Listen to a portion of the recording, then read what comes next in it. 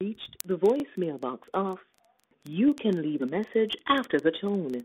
When you're finished, press the number sign or just hang up. Alright, so I want to start off by saying that I have no strong opinion of Euphoria either way.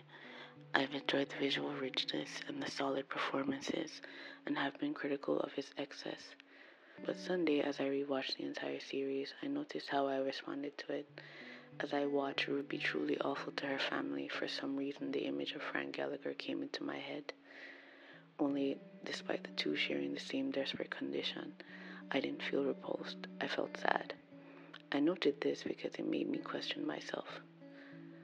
And it made me ask, why is Frank a villain and not Rue? I wondered if other people were having a similar experience, so I went online to see how people were reacting. I realized that my peers were largely in the same boat as me, hesitant to judge, quick to justify. For 18 episodes, we've watched Rue Bennett and her peers navigate some very adult shit, and through it all, we've given them grace, even Nate, because we know where they're coming from. We adults, and with a TVMA rating, the series is for legal adults, have bonded with these kids. As a result, we never see them pass that label. So, no matter their actions, nothing they say or do makes it out of the realm of troubled teen.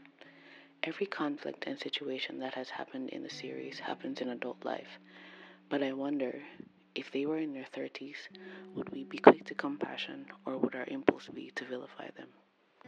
There are grown men shaped by complex childhoods like Nate who still act like him, women who navigate relationships with the same fear of abandonment and need for validation as Cassie and adults with diagnosed and undiagnosed mental disorders and emotional trauma that use substances to cope like Rue.